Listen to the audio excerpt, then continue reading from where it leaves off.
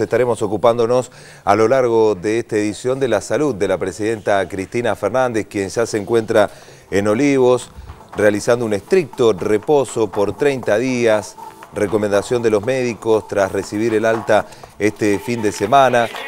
La presidenta permaneció internada durante seis días en la Fundación Favaloro por haber sido intervenida quirúrgicamente el martes pasado por un hematoma subdural en el cráneo la jefa de Estado deberá guardar estricto reposo por 30 días y evitar, entre otras cosas, el traslado aéreo hasta próxima decisión médica basada en la evolución de acuerdo al último parte médico.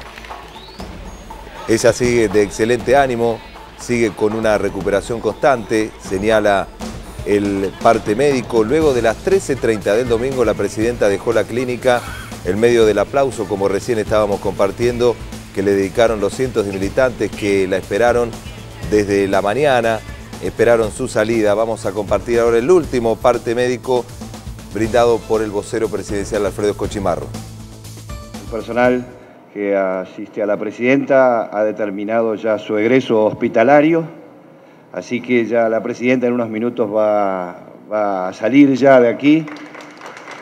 Con los cuidados y los partes médicos se los van a a distribuir a todos los medios.